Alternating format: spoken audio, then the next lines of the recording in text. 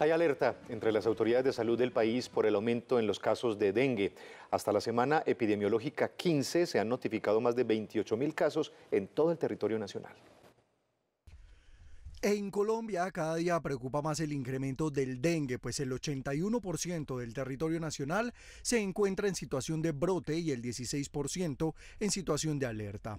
Ante esa situación se recomienda mantener las medidas de prevención que disminuya la propagación de los casos. Estos mosquitos tienen una amplia distribución en el territorio de las Américas, dadas las condiciones climáticas y ambientales que posee la zona.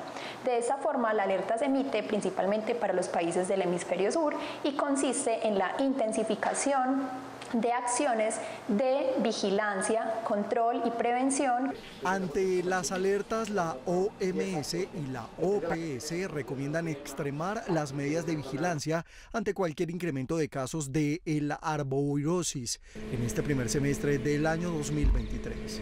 Dentro de los síntomas se encuentran dolor de cabeza, fiebre, malestar general, dolor muscular y articular, algunos síntomas eh, digestivos como por ejemplo vómito, dolor abdominal, diarrea, manifestaciones hemorrágicas como sangrados en piel y mucosa y algunas manifestaciones en piel como punticos rojos en la piel, brote y picazón. Recuerde identificar los posibles criaderos al interior de las viviendas, lugares de trabajo y escuelas. Algunos de los lugares potenciales son los floreros, materas, pocetas y tanques. La recomendación es lavarlos y cambiar el agua constantemente.